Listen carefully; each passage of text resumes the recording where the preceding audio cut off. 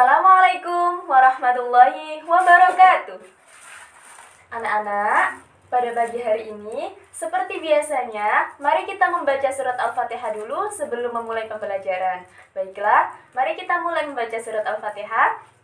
Al-Fatihah.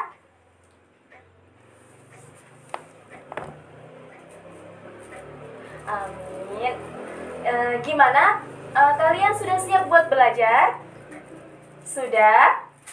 Ibu mau mengecek dulu satu persatu, apakah ada yang tidak masuk hari ini? Alhamdulillah semuanya masuk ya.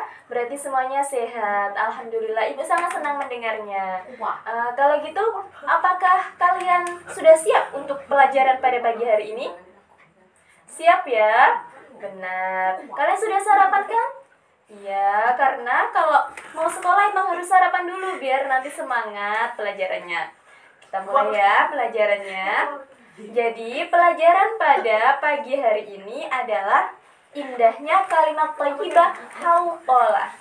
Ada yang pernah mendengar sebelumnya kalimat thayyibah hauqalah itu seperti apa? Ayo, siapa yang bisa? Baiklah, kalau gitu sekarang biar Ibu jelaskan. Kalimat thayyibah itu apa sih? Ada yang bisa silakan angkat tangan? Iya, Eva silakan apa jawabannya?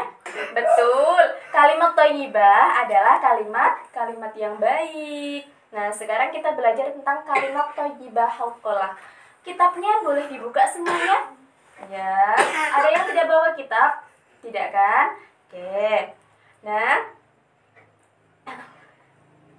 jadi kalimat haukolah ini adalah kalimat La haula wala quwwata illa billahil aliyil azim. Ada yang sudah bisa? Bisa semuanya ya. Mari kita ucapkan bersama-sama. La haula wala quwwata illa billahil aliyil azim. Ya, bagus. Pelafalannya sudah bagus. Ya, itu tadi kalimat haukolah. Nanti kita akan belajar tentang kalimat haukolah, bagaimana cara menulisnya, bagaimana apa artinya kalimat haukolah itu, dan lain-lain ya. Sekarang kita, uh, ibu mau memberikan, memberitahu dulu tentang arti dari kalimat la haula wala quwata illa billahil aliyil azim. Nah, itu artinya adalah tidak ada daya, upaya dan kekuatan kecuali pertolongan Allah Subhanahu wa taala yang maha tinggi dan maha agung.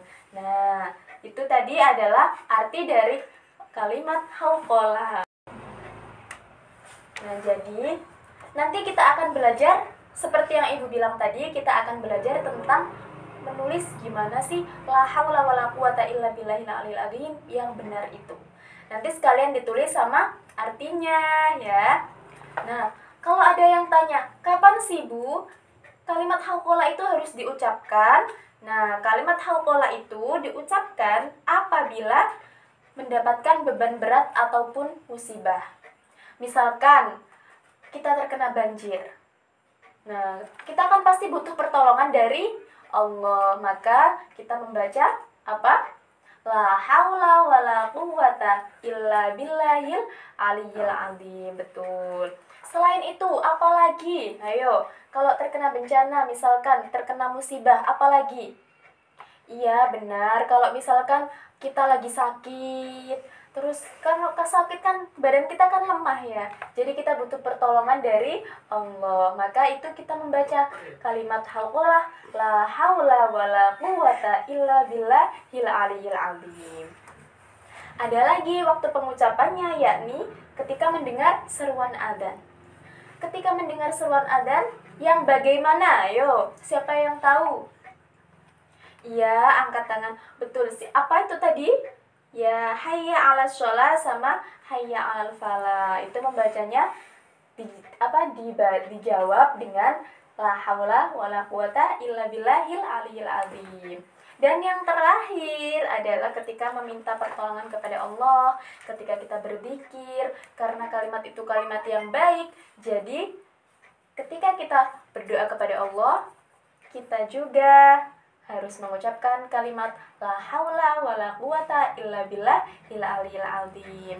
Gimana apakah sudah paham? Sudah ya, coba ibu tanya ya. Uh, apa sih kalimat haukolah itu? Ya, ya apa Bayu? La haula wa la quwata illa billah illa alil azim. Betul. Terus uh, tadi artinya apa? Tadi artinya arti la haula apa? Sudah hafal? Ya, banyak yang tidak hafal ya. Jadi, nanti PR-nya adalah kalimat la haula wala quwata illa billahil azim harus dihafalkan beserta artinya dan ditulis di buku tulis masing-masing sebagai PR untuk minggu depan ya anak-anak ya Oke, karena waktunya sudah habis, sepertinya kita harus mengakhiri pelajaran pada pagi hari ini. Dan untuk mengakhiri pelajaran pada pagi hari ini, seperti biasa kita mengucapkan Alhamdulillahirrabbilalamin Kemudian membaca Al-Fatihah lagi ya Al-Fatihah Amin. Terima kasih semuanya. Semoga bermanfaat pelajarannya. Kita bertemu lagi di minggu depan. Jangan lupa tugas yang sudah Ibu berikan dikumpulkan ya. Wassalamualaikum warahmatullahi wabarakatuh.